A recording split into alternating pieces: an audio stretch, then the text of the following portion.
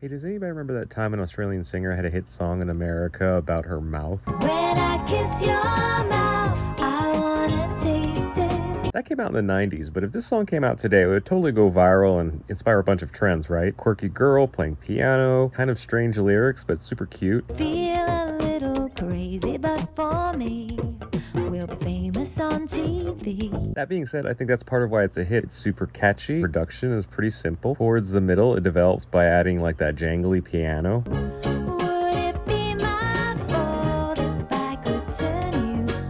There were so many versions of this song that I don't actually know which one I remember. I'm not certain that the one I listened to is the same one that played in your region either, so we all might be remembering a slightly different version of this song. It hit for a while. This is one of those songs I think a lot of people forget about and then they remember it and they're like, oh my gosh, I couldn't get away from it when it was big.